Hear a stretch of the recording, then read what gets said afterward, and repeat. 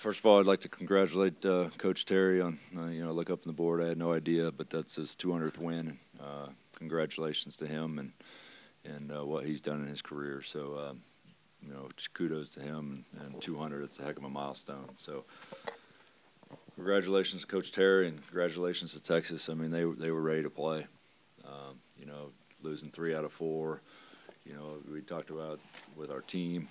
You know, it's uh, you know teams that play with that sense of desperation uh, usually come out uh, hungry, and they certainly came out hungry and they're ready to play. And consequently, uh, whatever it may be, from my standpoint, I didn't have our guys ready to play, and uh, that's on me. So uh, I'll get get with our coaching staff and figure out what we can do differently. But uh, credit to Texas with their approach to the game, and, and wow, did they shoot that ball.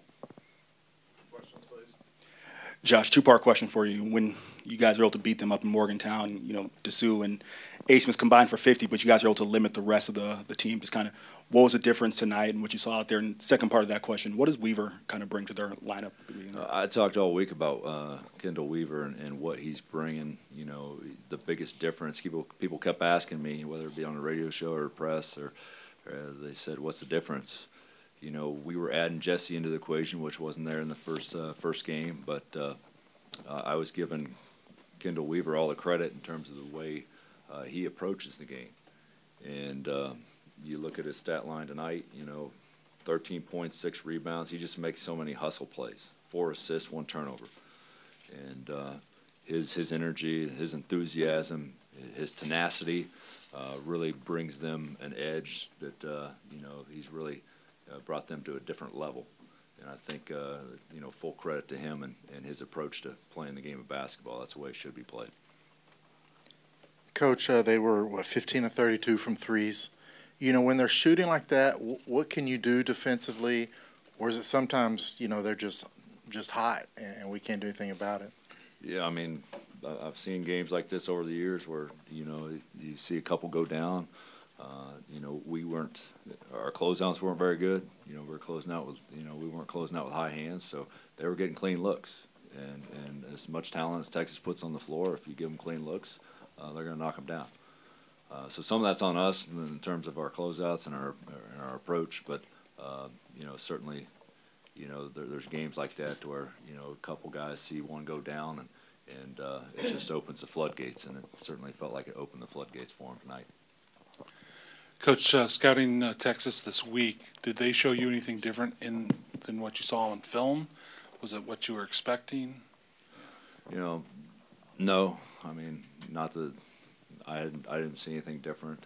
Um, you know, they did a good job early with with Disu picking and popping, and, and our ball screen coverage was not good there. That's really the shots that uh, when I talk about you know, they got open looks. I think they had three or four uh, early shots on that pick and pop with Disu and we didn't have an answer for it in terms of our ball screen coverage. Um, you know, that was, you know, credit to them and seeing that and, and, and attacking Jesse from that angle. So, um, you know, Jesse didn't play in that first game, and, and they went right at him and, and understood that they had an advantage there in that ball screen, uh, pick and pop. Yeah, Josh, I don't know about 10 teams separated by like two games in the loss column. Uh, how do you separate the top teams from everybody else, or do you see much differentiation between the teams? More than anything, it's the consistency. You know, the teams are going to lose in this league, and, you know, we, we go into this league thinking, you know, the, the winner might have six or seven losses. It's very, very, very feasible for that to happen. Um, but the best teams, you know, don't carry one loss into two. You know, they, they quickly fix, you know, their issues and, and they bounce back. And uh, you know, in this league, if you get down on yourself, uh, there's no there's no layups in this league. Uh, you you got to be ready to play each and every night. And like I told our guys, you know, do me a favor. You know, this is I'm a, this is on me. I didn't have you guys ready to play one way or another. I didn't have you guys ready to play, but we have to quick turnaround. We go play a really good TCU team in Fort Worth on Monday. So if uh, you start hanging your head and and and uh, you, you can't understand how to flush it and learn from your mistakes, you know, on a quick turn like that, uh, two one loss can turn into two real quick. But even with your record, you, beat Texas, you beat Kansas, you showed up and played some big games. So just I don't know if there's a super team or everybody's kind of the same. No, I mean, there's certainly home court advantage in this league is as good as any, probably any league in the country.